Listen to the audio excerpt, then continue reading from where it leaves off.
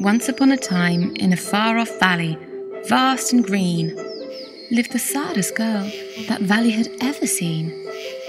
The valley was a delightful place, but that's something she'd never see, for she spent her days wondering what would make her happy.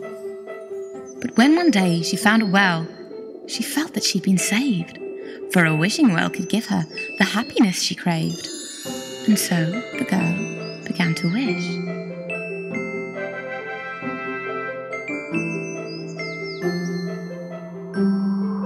Will the well grant the girl's wishes?